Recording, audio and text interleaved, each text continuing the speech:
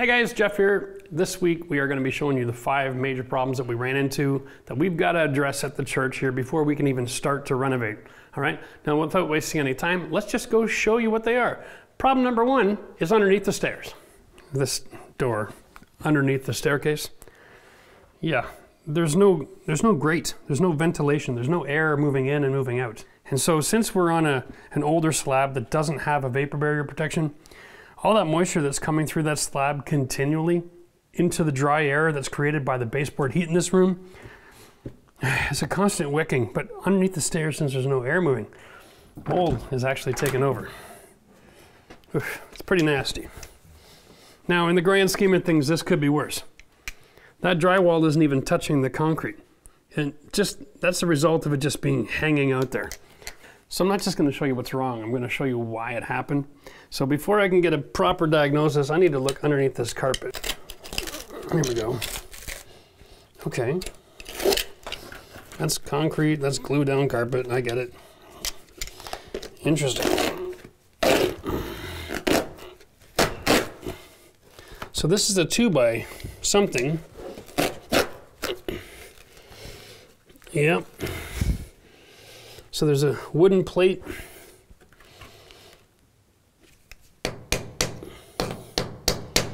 Interesting. The concrete's just poured a little bit thicker over here. Huh. Wow. That's really unique. Okay, well let's go take a look at the back side of the wall because it's actually a crawl space and we can get a better understanding of what's going on. So now that I'm back here looking at the drywall, I'm like, this back room here also has no ventilation. There's no air moving. But you'll see that the drywall above the stairs here is nice and clean. That drywall is part of the airspace where the ventilation is up and down the stairs. This is all trapped. And so look at all of this mold. And it's also making contact with the other side of the cinder block, I think on the other side.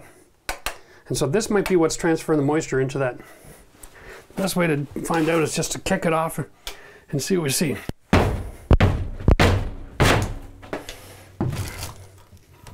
It's definitely, they put this 2x4 right on the edge of the, the block on the, this side. So it's making contact. Boy,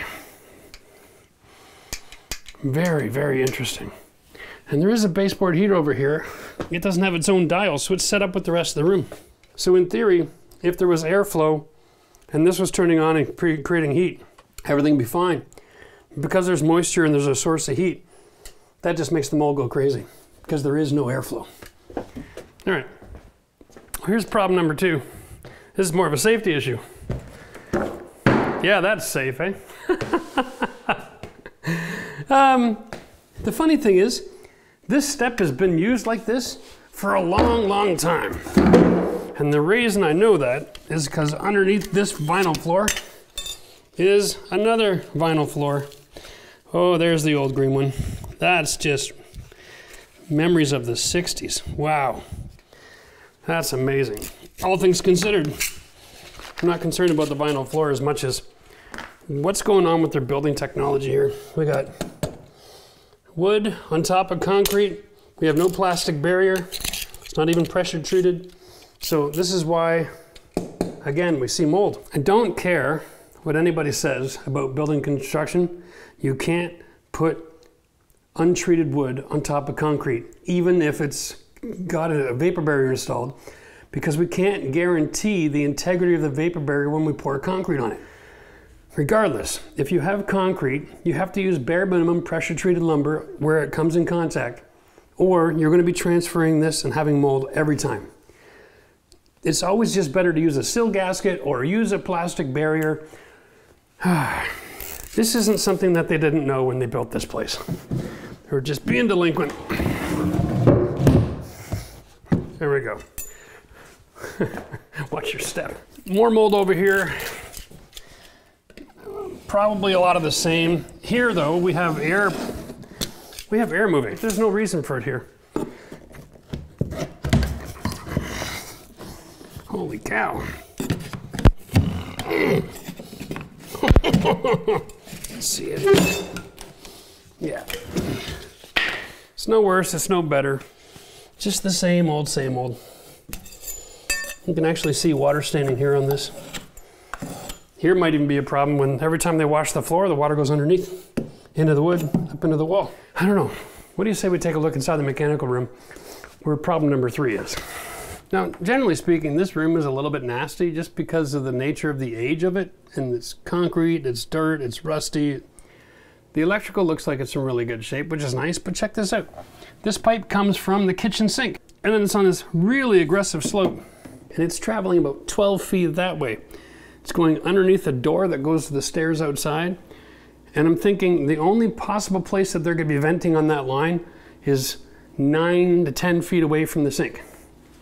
So I don't know who put this together. It's a one, ba one bath, one kitchen within 12 feet of each other, but they don't even have venting hooked up to the sinks. So we all know that that's going to end up clogging something horrible over time. So we got to redo the plumbing as well. Hooray. Good for me is I'm putting my kitchen upstairs. This is just has to serve temporarily. So we're going to make a slight modification here to, to get the occupancy. Then we're going to put in the building permit to open everything up and redo all the mechanical. Problem number four. Of course, it's in the bathroom, which is only a two piece, which is a problem of its own, but we already knew about this. So I'm actually going to be ripping out this wall and extending the bathroom and adding a shower. Check out this bathroom fan. That fan up there, and I double checked, is the fan that goes nowhere. And so when you turn it on, it's blowing air into this cavity, causing condensation, causing mold, which has been painted over numerous times. I can tell just by the discolorations to the point where there's so much moisture in this wall. Even the paint, just dust. It's just dust. It's just been it's been nasty for years and people are just living with it. The good news is is when I add the laundry, I'm to have to put a hole through the brick and to run the exhaust pipe. So I'll be opening up the ceiling anyway. We'll make sure we put in a proper fan so that we can duct it outside cuz listen to this.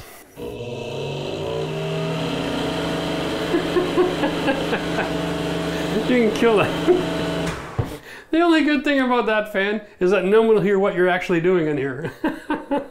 and the last problem, well, it's not really a construction problem, but I had to do some exploration. We had plans to get rid of the extra tiers. We figured they were built just for the staging for the choir, right? Turns out, it actually is just barely covering the height of the entrance to the outside from downstairs in the back, which means I'm pretty much, unless I get really creative with the way that I build this, I'm gonna have to keep at least this height and maybe this one as well. I don't wanna have a bathroom built way up here, but structurally speaking, I think I'm gonna take out this whole platform and take a look because there are so many bugs in this space and spiders galore. Somewhere in the confines of this last few feet, there's access outside and the bugs are finding their way into the building. So we got beetles and aphids and flies and spiders galore, oh my. When you have that kind of an issue, you know you've got a lot of air leaking. And when you have a spray foam foundation, air leaking means that there's a problem with the construction zone. There's a weak spot. And if I don't find it, I might have a problem with rodents down the road as well. So now I've got to open this up to chase out where are the bugs coming from and how do I solve that problem? Well, overall, guys, the problems that we ran into here are pretty minor. Yeah, I'm not a big fan of mold, but it's very isolated and very specific to different regions. It doesn't have the overwhelming um, drama of a systemic problem, right? The building construction here is pretty solid. It's just some bad techniques in a couple of spots. We can deal with that. Next week, what we're gonna do is we're gonna start opening up the bathroom so that we can put together our plans for our permit and then we'll follow up that with our plans to modify the kitchen to make that a livable space. So make sure you subscribe to the channel. Don't forget to hit the like button and let us know if you like getting these quick short video updates. If you haven't seen the last video, check it out over here. We talk about all the costs that we've incurred so far while getting this property and holding it, insuring it, and getting it safe. That's information you need to know if you're going to try something crazy like renovating a church like us.